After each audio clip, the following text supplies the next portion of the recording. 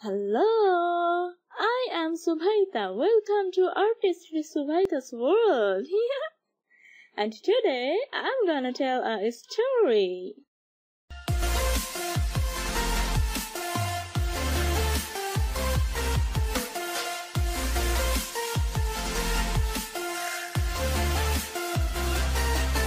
The story is about a rainy day.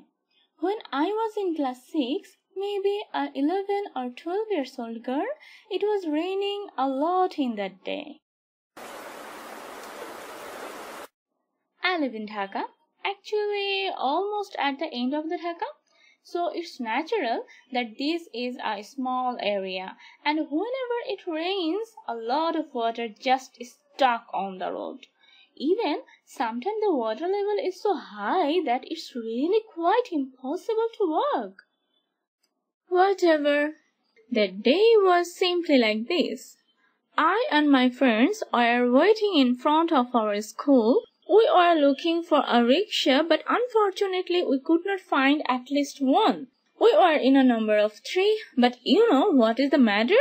After few minutes, I looked behind and found that no one was there.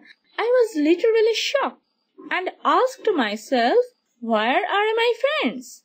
Then suddenly I heard some voice was calling me.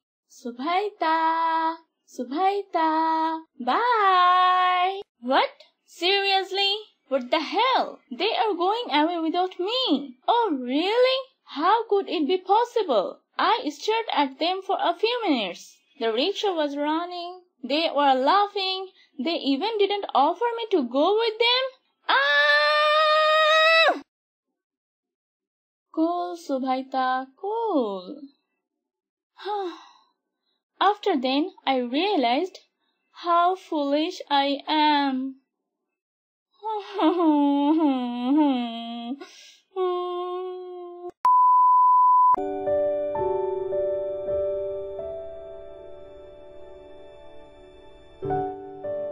So, yes, this is my story, by which I was able to understand who are actually my true friends and how foolish I am.